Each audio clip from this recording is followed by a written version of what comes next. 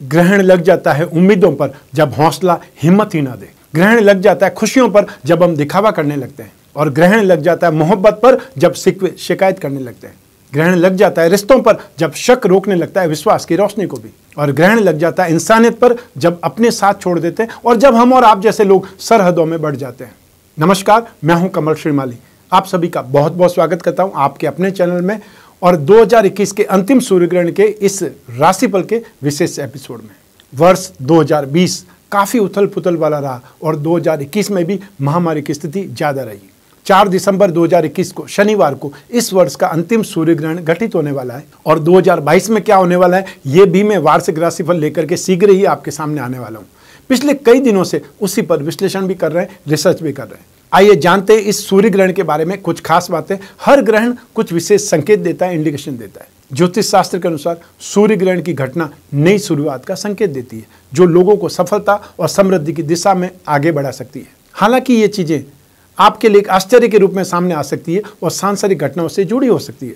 हम लोग ज़्यादातर सीमित दृष्टिकोण बनाए रखते हैं और उन विकल्पों पर ही ध्यान केंद्रित करते हैं, जो आसानी से मिल जाए। हालाँकि सूर्य ग्रहण के समय कुछ चीज़ें अस्थायी रूप से अवरुद्ध हो जाती है और ऐसे विकल्पों के लिए दरवाजे खुलते हैं जिनके बारे में हमने कभी सोचा भी नहीं था। हालाँकि ग्रहण की घटनाओं को अशुभ माना जाता है, लेकिन ग्रहण की घटना आशीर्वाद भी बन सकती है। कैसे? यही इस एपिसोड में मैं बताने वाला हूँ। खगरा सूर्य ग्रहण जब होता है, तब अमावस्या होती है चंद्रमा ठीक राहु या केतु बिंदु पर होता है और पृथ्वी समीप बिंदु पर होती है। इस प्रकार की स्थिति में चंद्रमा की गहरी छाया जितने स्थानों पर पड़ती है, उतने स्थानों पर खग्रास ग्रहण दृष्टिगोचर होता है। और जितने स्थानों पर हल्की परछाई पड़ती है, उतने स्थानों पर खंडग्रास ग्रहण होता है। और जहाँ ये दोनों परछाइयाँ नहीं होती, वहाँ ग्रहण ही नहीं दिखता। इसलिए ग्रहण लिखते समय ग्रहण के स्थानों पर और प्रकार को भी सूचित करना पंचांगों की एक निश्चित प्रक्रिया होती है। और इसीलिए आप देखोगे जो भी पंचांग होते हैं, उसमें खंडग्रास ग्रहण, कंकणागति ग्रहण, ये सब कुछ लिखा होता है समय के अनुसार देश काल स्थिति के अनुसार, भौगोलिक परिस्थिति के अनुसार।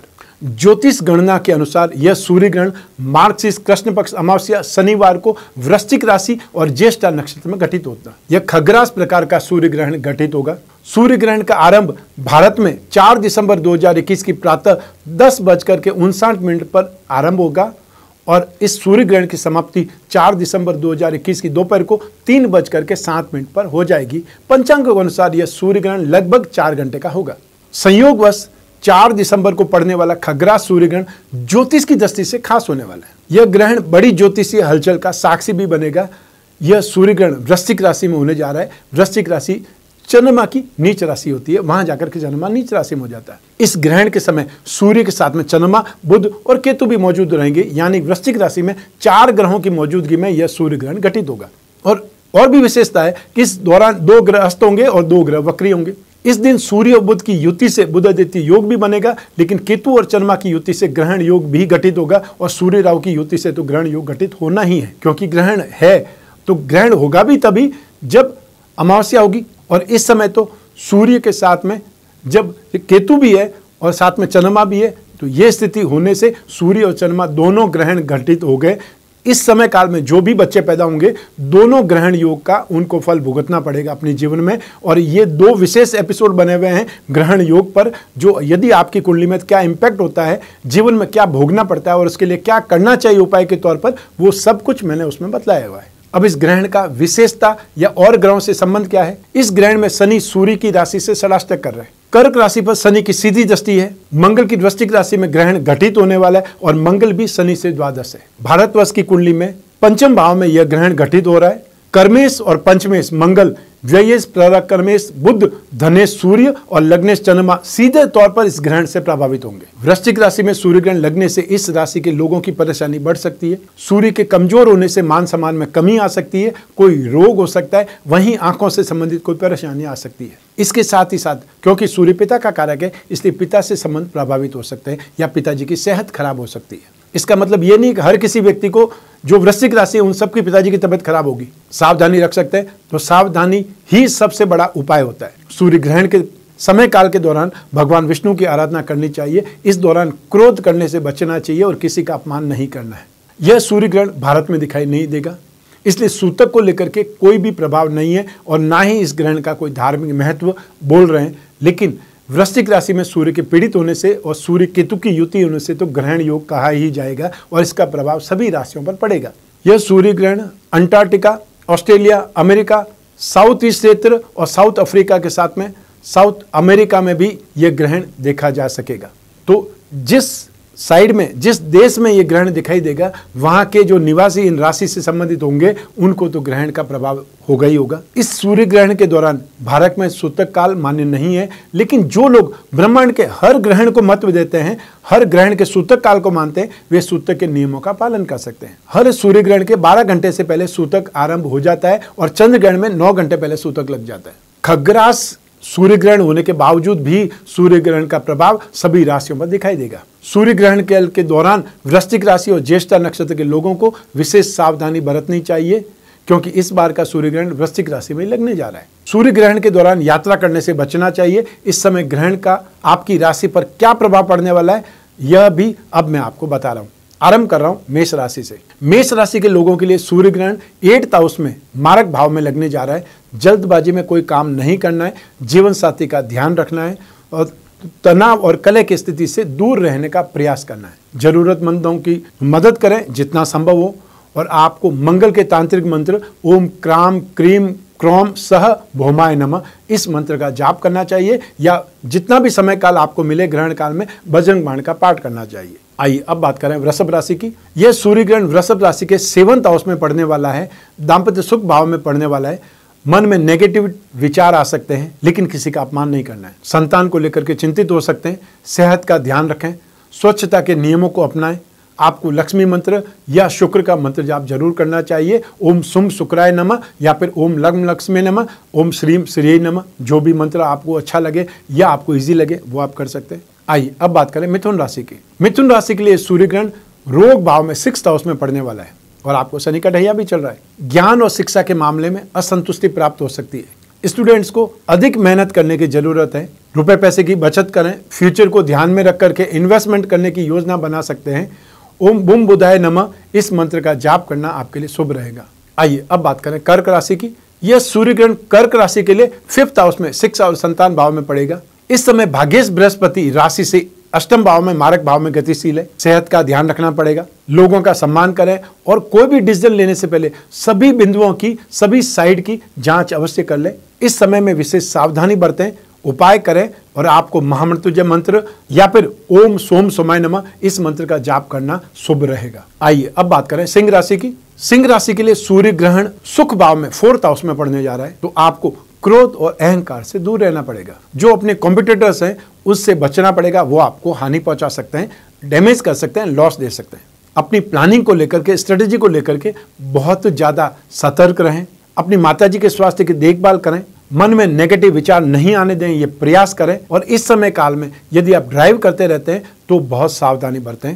और उपाय के तौर पर आपको ओम आदित्य विद्महे, दिवाकराय धीमहि, तन्नो सूर्य प्रचोदयात, इस सूर्य गायत्री मंत्र का जाप करना चाहिए। आइए, अब बात करें कन्या राशि की। यह सूर्य ग्रहण कन्या राशि से पराक्रम भाव में घटित होगा। इससे साहस में वृद्धि होगी। कोई भी बहुत बड़ा डिसीज़न लेने से पहले जानकार लोगों से सलाह अवश्य लें और इस दौरान कोई निर्णय गलत भी हो सकता है, ये भी ध्यान रखना है, सावधान रहना है। जीवन साथी की सेहत को लेकर के ध्यान रखना है, उनकी केयर करनी है और आपको ब्राम ब्रीम, ब्रोम, सह, बुधाय नम इस मंत्र का जाप करना चाहिए। आइए, अब बात करें तुला राशि की। यह सूर्य ग्रहण आपकी राशि से सेकंड हाउस में धन और संपत्ति भाव में लगने जा रहा है और आपको शनि की ढैया भी चल रही है तो आपको क्रोध नहीं करना है अपने रुपए पैसे का गलत इस्तेमाल आपको लॉस दे सकता है डैमेज कर सकता है, अपयश भी प्राप्त हो सकता है, बदनाम हो सकते हैं। और आपको उपाय के तौर पर ओम द्राम द्रीम द्रोम सह शुक्राय नम इस मंत्र का जाप करना शुभ रहेगा।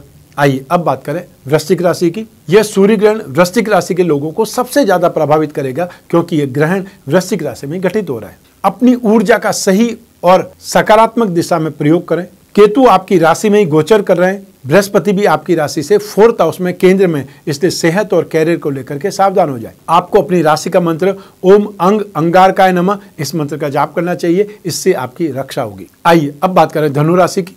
यह सूर्य ग्रहण धनु राशि से नाश भाव में अतः ट्वेल्थ हाउस में पड़ने वाला है। आपको शनि के साथ साथ एक अंतिम चरण चल रहा है। गलत कामों से दूरी बना करके रखनी है। अचानक लाभ भी मिल सकता है तो अचानक से हानि की स्थिति भी बन सकती है। इसलिए रुपए पैसे को लेकर के बहुत ज़्यादा सावधान रहना है। संबंधों को लेकर के बेहतर स्थिति बनाए रखनी है और आपको ओम नमो भगवते वासुदेवाय। इस मंत्र का जाप करना शुभ रहेगा। आइए, अब बात करें मकर राशि की। तो अब मकर राशि के लोगों के लिए सूर्य ग्रहण लाभ भाव में इलेवंथ हाउस में घटित होगा। आपको शनि की साढ़े साथी का सेकंड फ़ेज़ भी चल रहा है। मन को शांत रखने की कोशिश करें। अभद्र भाषा का उपयोग नहीं करें और वाणी दोष की स्थिति नहीं बनने दें। धैर्य बनाए रखें। अपने कॉम्पिटिटर से सावधान रहें और आपको ओम प्राम प्रीम प्रोम सह शनि नम इस मंत्र का जाप करना शुभ रहेगा। आइए, अब बात करें कुंभ राशि की। तो आप कुंभ राशि के लिए सूर्य ग्रहण दसम भाव में, टेंथ हाउस में प्रोफेशन भाव में लगने जा रहा है। आपको साढ़े साथी का फ़र्स्ट चरण चल रहा है। किसी का अहित करने से बचना है। प्रेम और विनम्रता को बनाए रखना है। अचानक लाभ होने की स्थिति बनी हुई है।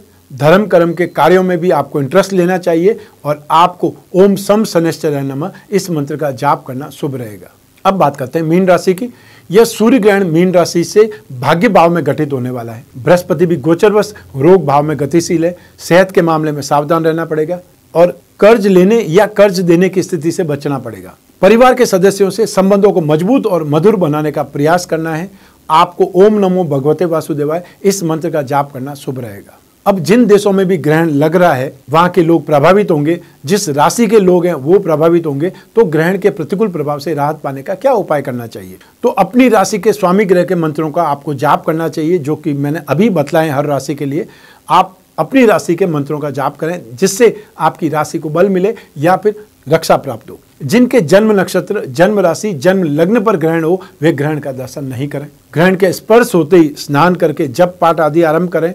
और मध्य में ग्रह शांति हवन करें और ग्रहण के मोक्ष के पश्चात में फिर से स्नान करें। ग्रहण के अंत में या ग्रहण के बाद में दान ज़रूर करें। यह ग्रहण ज्येष्ठा नक्षत्र में घटित होने वाला है। इस नक्षत्र का स्वामी है बुद्ध अतः सोना, तिल, घी, चावल, नीले वस्त्र, इन सब का दान कर सकते हैं। जो भी आप उचित समय, जो भी सामर्थ्य हो, सारी सारी चीज़ें भी दान कर सकते हैं या कोई एक चीज़ भी दान कर सकते हैं।